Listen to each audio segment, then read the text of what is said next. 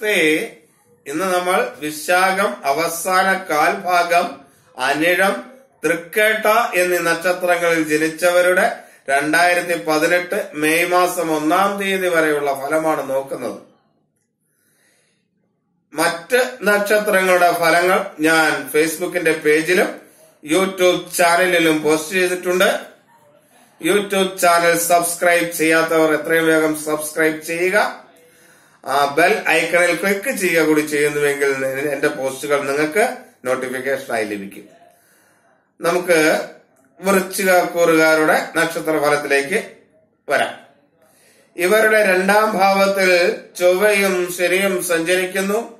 മൂന്നിൽ കേതു സഞ്ചരിക്കുന്നു. അഞ്ചിൽ രവിയും ബുധനും സഞ്ചരിക്കുന്നു. ആറിൽ ശുക്രൻ സഞ്ചരിക്കുന്നു. ഒമ്പതിൽ സർപ്പം സഞ്ചരിക്കുന്നു. പന്ത്രണ്ടിൽ വ്യാഴം സഞ്ചരിക്കുന്നു. ഇതാണ് ഇവരുടെ ഇപ്പോഴത്തെ ഒരു ഗോചരാവസ്ഥ.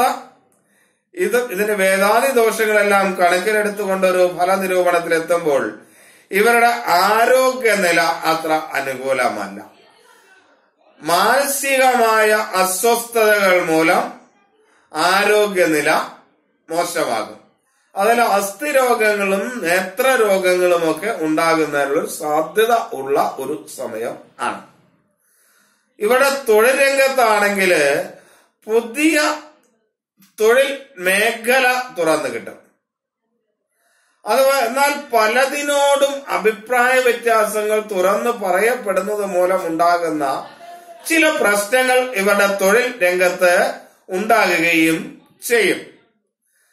ധനപരമായ ചില തടസ്സങ്ങൾ ഉണ്ടാകും. എന്നാൽ അവ മറ്റുള്ളവരുടെ സഹായമോ മറ്റോ മൂലം പരിഹരിക്കപ്പെടുകയും ചെയ്യും. കുടുംബത്തിൽ ചില്ലറ കലഹങ്ങളും അഭിപ്രായ വ്യത്യാസങ്ങളും ഉണ്ടാകുന്നുള്ള സാധ്യതയുണ്ട്.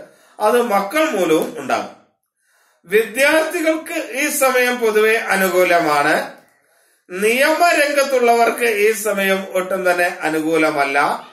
ആരോഗ്യരംഗത്ത് തൊഴിൽ ചെയ്യുന്നവർക്ക് ഈ സമയം അനുകൂലമാണ്. എന്നാൽ ശത്രുക്കൾ മൂലമുണ്ടാക്കുന്ന ചില ചതികളിലൊക്കെ വീഴാതെ നോക്കണം.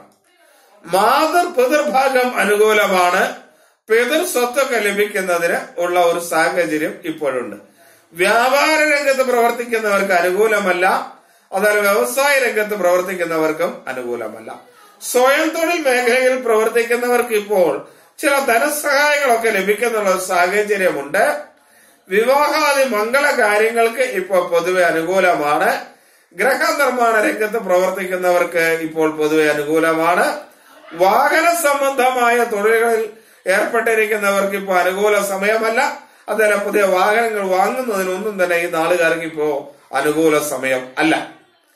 തൊഴിൽ രംഗത്ത് ശത്രുക്കളുടെ ചതി ഉണ്ടാകുന്നുള്ള സാഹചര്യം ഉള്ളതുകൊണ്ട് അത് വളരെയധികം ശ്രദ്ധിക്കണം.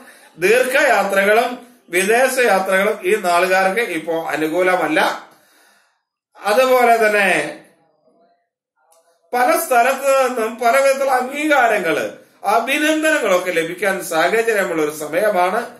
എന്തൊക്കെയാണെങ്കിലും സ്വജനങ്ങൾ ശത്രുക്കളെ പോലെ പെരുമാറുകയും ചെയ്യും. ഇതാണ് ഈ വിശാഖം അവസാന കാൽഭാഗത്തും അനിടം തൃക്കേട്ട എന്നീ നക്ഷത്രങ്ങളിലുള്ള വൃശ്ചയക്കൂറുകാർക്കുള്ള രണ്ടായിരത്തി പതിനെട്ട് മെയ് ഒന്ന് വരെയുള്ള ഫലം. ഇവയുടെ ദോഷങ്ങൾ ഒരു പരിധി വരെ പരിഹരിക്കുവാൻ വിഷ്ണു ക്ഷേത്രത്തിൽ തുളസിമാലയും പാൽപായസവും നിവേദ്യവും വളരെ നല്ലതാണ്. എല്ലാവരെയും ഈശ്വരൻ അനുഗ്രഹിക്കട്ടെ എന്ന് പ്രാർത്ഥിക്കുന്നു. എല്ലാവർക്കും നമസ്തേ.